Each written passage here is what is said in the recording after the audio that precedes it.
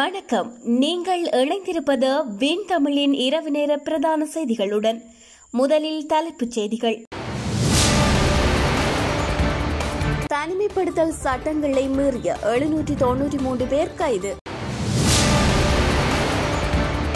இன்றிரவு முதல் பொருளாதார மத்திய நிலையங்களுக்கு மரக்கறிகளை கொண்டு செல்ல அனுமதி. நாட்டில் மேலும் முப்பத்தி ஒன்பது கொரோனா மரணங்கள். யாழ் மற்றும் இரத்தினபுரி மாவட்டங்களில் தடுப்பூசி ஏற்ற நடவடிக்கை. எக்ஸ்பிரஸ் பேர்ல் கப்பல் மூலம் சூழலுக்கு ஏற்பட்ட பாதிப்பை விசாரணை நடத்தி வெளிப்படுத்துமாறு சஜித் பிரேமதாச வலியுறுத்தல். கடந்த இருபத்தி நான்கு மணி நேரத்தில் மாவட்ட ரீதியில் தீவிரமடையும் கொரோனா. மிளகாய் தூளை கண்ணில் தூவிய கோப்பாய் போலீசார் பாதிக்கப்பட்டவர்கள் முறைப்பாடு. யாழில் தொற்றுக்குள்ளான பெண் பிரசவித்த சிசுவிற்கும் தொற்று. ஆற்றில் மீட்கப்பட்ட பயங்கரமான ஆயுதம் போலீசாரிடம் ஒப்படைப்பு. சவேந்திர சில்வாவை தடை செய்ய பிரித்தானிய தொழிற்கட்சி அதிரடி நடவடிக்கை. நாட்டை எம்மிடம் கொடுத்து பாருங்கள். தென்னாசியாவின் முன்னணி நாடாக திருப்பி தருகிறோம். இலங்கையில் பயண கட்டுப்பாடு தொடர்பில் ராணுவ தளபதி வெளியிட்டுள்ள முக்கிய தகவல். ஐயாயிரம் ரூபாய் கொடுப்பனவு தொடர்பில் அமைச்சர் வாசுதேவ வெளியிட்ட தகவல். மாவட்டத்தில் நாளை தடுப்பூசி வழங்கப்படவுள்ள பிரதேசங்கள் இவைதான். வெளியானது பட்டியல். யாழில் மூன்று சிறுமிகள் உட்பட நாற்பத்தி ஏழு பேருக்கு கொரோனா. இனி விரிவான செய்திகள். தனிமைப்படுத்தல் விதிமுறைகளை மீறிய எழுநூற்றி தொன்னூற்றி மூன்று பேர் கடந்த இருபத்தி நான்கு மணித்தியாலங்களில் கைது செய்யப்பட்டுள்ளனர். அவர்களில் அதிகளவானோர் மாத்தளை மாவட்டத்தில் கைது செய்யப்பட்டதாக போலீஸ் ஊடக பேச்சாளர் கூறியுள்ளார்.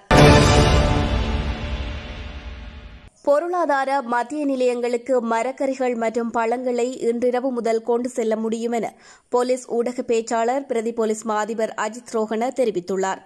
நாளையும் நாளை மறுதினமும் பொருளாதார மத்திய நிலையங்கள் திறக்கப்பட உள்ளதால் இன்றிரவு பொருட்களை கொண்டு செல்ல அனுமதி வழங்கப்பட்டுள்ளதாக அவர் கூறியுள்ளார்.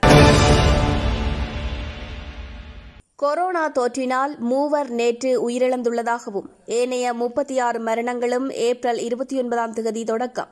கடந்த இருபத்தி ஏழாம் தேதி வரை பதிவானதாகவும் சுகாதார சேவைகள் பணிப்பாளர் நாயகம் உறுதி செய்துள்ளார். சடலங்களின் பிசிஆர் அறிக்கையின் பிரகாரம் அவை நேற்றைய தினமே கொரோனா மரணங்களாக உறுதி செய்யப்பட்டதாக அரசாங்க தகவல் திணைக்களம் அறிவித்துள்ளது. அதற்கமைய நாட்டில் இதுவரை கொரோனா தொற்றினால் உயிரிழந்தவர்களின் எண்ணிக்கை ஆயிரத்தி முன்னூற்றி அறுபத்தி மூன்றாக அதிகரித்துள்ளது. கொரோனா தடுப்பூசி ஏற்றும் செயற்பாட்டின் அடுத்த கட்டம் யாழ்ப்பாணம் மற்றும் ரத்தினபுரி மாவட்டங்களில் ஆரம்பிக்கப்பட உள்ளதாக சுகாதார அமைச்சு தெரிவிக்கின்றது. ரத்தினபுரி மாவட்டத்தில் நாளை தடுப்பூசி ஏற்றப்பட உள்ளதாக சுகாதார அமைச்சு வெளியிட்டுள்ள அறிக்கையில் குறிப்பிடப்பட்டுள்ளது. குருநாகல் காலி மற்றும் மாத்திரை மாவட்டங்களில் அடையாளம் காணப்பட்ட பகுதிகளில் சினோஃபார்ம் தடுப்பூசி மற்றும் தடுப்பூசி ஏற்றும் பணிகள் தற்போது முன்னெடுக்கப்படுகின்றன. இதனிடையே மேல் மாகாணத்தில் தடுப்பூசி ஏற்றும் நடவடிக்கை வெற்றிகரமாக முன்னெடுக்கப்படுவதாக சுகாதார அமைச்சு சுட்டிக்காட்டியுள்ளது. எக்ஸ்பிரஸ் பேர்ல் கப்பல் மூலம் சூழலுக்கு ஏற்பட்ட பாதிப்பு தொடர்பில் பக்கச்சார்பற்ற விசாரணை நடத்தி உண்மையை வெளிப்படுத்துமாறு எதிர்க்கட்சித் தலைவர் சஜித் பிரேமதாச வலியுறுத்தியுள்ளார். அவ்வாறாயின் இவ்வாறு அபாயம் நிலவும் சந்தர்ப்பத்தில் இலங்கையின் கடற்பரப்பிற்குள் திடீரென எவ்வாறு பிரவேசித்தது என எதிர்க்கட்சித் தலைவர் கேள்வி எழுப்பியுள்ளார். இலங்கையில் கடந்த இருபத்தி நான்கு மணி நேரத்தில் இரண்டாயிரத்தி எண்ணூற்றி ஐம்பது பேருக்கு கொரோனா தொற்று உறுதியாகியுள்ள நிலையில் மாவட்ட ரீதியான தகவலை சுகாதார அமைச்சு வெளியிட்டுள்ளது. அதன்படி நேற்று அடையாளம் காணப்பட்டோரில் அதிகமான நோயாளிகள் அதாவது ஐநூற்றி பன்னிரண்டு பேர் களுத்துறையில் கண்டறியப்பட்டுள்ளனர். மேலும் கம்பகாவில் நானூற்றி நாற்பத்தி மூன்று பேருக்கும் கொழும்பில் இருநூற்றி எண்பத்தி ஒரு பேருக்கும் கண்டியில் இருநூற்றி எழுபத்தி ஒரு பேருக்கும் நுவரெலியாவில் நூற்றி தொன்னூற்றி ஒரு பேருக்கும் குருநாகலில் நூற்றி எழுபத்தி ஏழு பேருக்கும் கொரோனா தொற்று உறுதியாகியுள்ளது. அத்தோடு ரத்னபுரியில் நூற்றி ஐம்பது பேரும் மாத்தறையில் தொன்னூற்றி எட்டு பேரும் கிளிநொச்சியில் தொன்னூற்றி நான்கு பேரும் மாத்தளையில் எழுபத்தி ஒன்பது பேரும் காலியில் எழுபத்தி ஏழு பேரும் திருகோணமலையில் எழுபத்தைந்து பேரும் அடையாளம் காணப்பட்டுள்ளனர். கேகாலையில் ஐம்பத்தி ஆறு பேருக்கும் புத்தளத்தில் ஐம்பத்தி நான்கு பேருக்கும் முல்லைத்தீவில் ஐம்பத்தி மூன்று பேருக்கும் பதுளை மற்றும் மட்டக்களப்பில் தலா நாற்பது பேருக்கும் ஹம்பாந்தோட்டையில் முப்பத்தி ஆறு பேருக்கும் அனுராதபுரத்தில் முப்பத்தி ஐந்து பேருக்கும் கொரோனா தொற்றுறுதி உறுதியாகியுள்ளது. மேலும் வவுனியாவில் இருபத்தி நான்கு பேரும் யாழ்ப்பாணத்தில் இருபத்தி ரெண்டு பேரும் அம்பாறையில் பத்தொன்பது பேரும் புலனர்வியில் பதிமூன்று பேரும் வெளிநாடுகளிலிருந்து நாடு திரும்பிய ஐவரும் அடையாளம் காணப்பட்டுள்ளனர். யாழ் கோப்பாய் போலீசாருக்கு எதிராக மனித உரிமைகள் ஆணைக்குழுவில் முறைப்பாடு செய்யப்பட்டுள்ளது. திருட்டு குற்றச்சாட்டு ஒன்று தொடர்பில் தம்மை கட்டி வைத்து மிக கொடூரமாக தாக்கியதாக அக்காவும் தம்பியும் சகோதரர்கள் இவ்வாறு யாழ் மனித உரிமைகள் ஆணைக்குழு பிராந்திய அலுவலகத்தில் முறைப்பாடு பதிவு செய்துள்ளனர். யாழ்ப்பாணம் பருத்தித்துறை ஆதார வைத்தியசாலையில் கொரோனா தொற்றுக்குள்ளான கர்ப்பிணி தாயொருவர் பிரசவித்த குழந்தைக்கும் கொரோனா தொற்று ஏற்பட்டுள்ளது. கொரோனா தொற்றுடன் வைத்தியசாலையில் அனுமதிக்கப்பட்ட குறித்த கர்ப்பிணிக்கு சத்திர சிகிச்சை மூலம் குழந்தை பிரசவமானது. இந்நிலையில் அவர் பிரசவித்த குழந்தைக்கும் கொரோனா தொற்றுறுதி உறுதியாகியுள்ளது. இதேவேளை அண்மையில் பருத்தித்துறை ஆதார் வைத்தியசாலையில் கொரோனா சிகிச்சை விடுதி ஆரம்பிக்கப்பட்ட நிலையில் தற்போது அங்கு இருபத்தி ஒரு நோயாளர்கள் சிகிச்சை பெற்று வருகின்றதாக தெரிவிக்கப்படுகின்றது. ஆற்றில் கிடந்த ரிவால்வர் ரக துப்பாக்கி ஒன்று மீட்கப்பட்டு சம்மாந்துறை போலீசாரிடம் ஒப்படைக்கப்பட்டுள்ளது. கடந்த இருபத்தி ஏழாம் திகதி வியாழக்கிழமை அம்பாறை மாவட்டத்தில் உள்ள சம்மாந்துறை போலீஸ் பிரிவிற்குட்பட்ட கல்லிரைச்சல் ஆற்று பகுதியில் மண்ணகழ்வில் ஈடுபட்டவர்கள் குறித்த துப்பாக்கியை மீட்டு இன்று மாலை போலீசாரிடம் ஒப்படைத்துள்ளனர். குறித்த துப்பாக்கி இயங்கு நிலையில் காணப்படுவதுடன் அமெரிக்க நாட்டு தயாரிப்பில் உற்பத்தி செய்யப்பட்டிருப்பதாக போலீசார் குறிப்பிட்டுள்ளனர். மேலும் மீட்கப்பட்ட துப்பாக்கி தொடர்பில் எந்தவொரு சந்தேக நபர்களும் கைது செய்யப்படவில்லை என்பதுடன் மேலதிக விசாரணைகளை சம்மாந்துறை போலீசார் முன்னெடுத்துள்ளனர். ஸ்ரீலங்காவின் ராணுவ தளபதியும் யுத்த குற்றச்சாட்டுகளுக்கு உள்ளானவருமான ஜெனரல் சவேந்திர சில்வாவுக்கு எதிராக பிரித்தானிய அரசு தனது உலகளாவிய மனித உரிமைகள் தொடர்பான தடை விதிப்பு அதிகார சபையின் கீழ் பயணத்தடை உள்ளிட்ட தடைகளை விதிக்க உடன் நடவடிக்கை எடுக்க வேண்டும் என பிரித்தானிய தொழிற்கட்சி சார்பில் ஆசிய மற்றும் பசிபிக் பிராந்தியங்களுக்கான பிரித்தானியாவின் நிழல் அமைச்சரான மதிப்பிற்குரிய ஸ்ரீபன் கினோக் அவர்கள் கோரிக்கை விடுத்துள்ளார். தென்னாசிய மற்றும் பொதுநலவாய நாடுகளுக்கான அமைச்சரான மதிப்பிற்குரிய தாரிக் அகமது பிரபு அவர்களுக்கு இன்றைய தினம் அனுப்பி வைத்துள்ள கடிதத்திலேயே அவர் இவ்வாறு தெரிவித்துள்ளார். குறித்த கடிதத்தில் கடந்த ஏப்ரல் மாதம் ஜஸ்மின் சூகா தலைமையிலான ஐடிஜேபி ராணுவ தளபதி சவேந்திர சில்வா தொடர்பில் பிரித்தானிய வெளிவிகார அமைச்சிடம் சமர்ப்பித்திருந்த ஐம்பது பக்க குற்றப்பத்திரிகையில் குறிப்பிடப்பட்டுள்ள விடயங்களை மேற்கோள் காட்டியுள்ள நிழல் அமைச்சர் இறுதி யுத்தத்தில் சவேந்திர சில்வா ஐம்பத்தி எட்டாவது படைப்பிரிவின் ராணுவ தளபதியாக இருந்தார் என்பதற்கான ஆதாரங்களை குறித்த அறிக்கை வழங்குவதுடன் குறித்த யுத்தத்தில் அவருக்கும் அவரது படைகளுக்கும் இடையில் ஒரு கட்டளை தொடர்பு இருந்ததையும் அந்த அறிக்கை விவரிக்கின்றது என்று குறிப்பிட்டுள்ளார். இந்த அடிப்படையில் சவேந்திர சில்வாவை தடை செய்யும்படி கோரி ஒன்று மே இரண்டாயிரத்தி இருபத்தி ஒன்று அன்று இனப்படுகொலையை தடுப்பதற்கும் தண்டிப்பதற்குமான சர்வதேச மையம் யுத்தத்தினால் பாதிக்கப்பட்டவர்கள் சார்பில் பிரித்தானிய அரசிற்கு அவசர வேண்டுகோள் விடுத்ததுடன் அனைத்து அமைப்புகளையும் ஒன்றிணைந்து அழுத்தம் வழங்குமாறும் கோரியிருந்தது.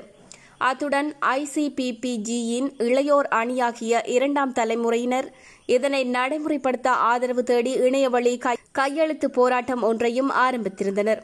ஜெனிவாவில் ஐநாவின் சமீபத்திய தீர்மானம் நாற்பத்தி ஆறின் கீழ் ஒன்றிற்கு பிரிட்டன் பென்ஹோல்டர் என்பதை நாங்கள் மரியாதையுடன் உங்களுக்கு நினைவூட்டுவோம்.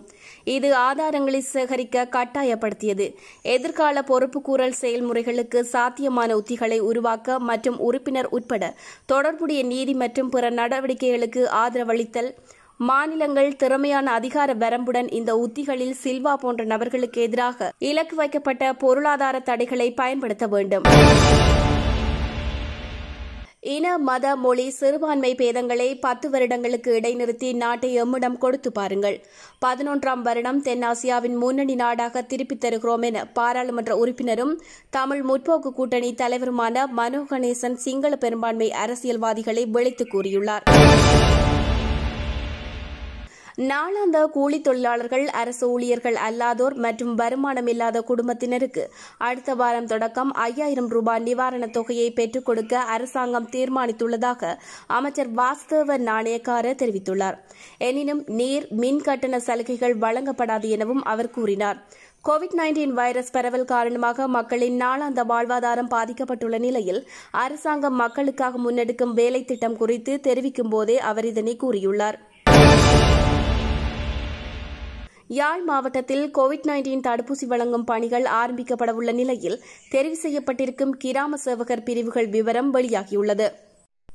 அதன்படி சங்கானை எம்ஓஎச்சில் ஒரு ஜிஎஸ் டிவிஷன் சாவகச்சேரி எம்ஓஎச்சில் பதினாறு ஜிஎஸ் டிவிஷன் யாழ்ப்பாணம் எம்சி எம்ஓஎச்சில் பதிமூன்று ஜிஎஸ் டிவிஷன் காரிநகர் எம்ஓஎச் ஒரு ஜிஎஸ் டிவிஷன் கரவட்டி எம்ஓஎச்சில் ஐந்து ஜிஎஸ் டிவிஷன் கோப்பாய் எம்ஓஎச் நான்கு ஜிஎஸ் டிவிஷன் நல்லூர் எம்ஓஹெச் ஒரு ஜிஎஸ் டிவிஷன் பருத்தித்துறை எம்ஓஹெச் அஞ்சு ஜிஎஸ் டிவிஷன் சண்டிலிப்பாய் எம்ஓஹெச் பத்து ஜிஎஸ் டிவிஷன் தெல்லிப்பள்ளை எம்ஓஎச்சில் மூன்று ஜிஎஸ் டிவிஷன் வேலணை எம்ஓஹெச் ரெண்டு ஜிஎஸ் டிவிஷன் கொரோனா தடுப்பூசி வழங்கப்பட்டுள்ளதாக தெரிவிக்கப்படுகின்றது.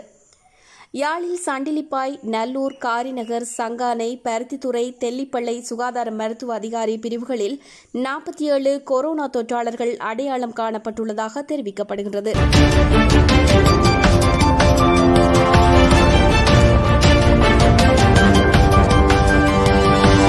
Yeah.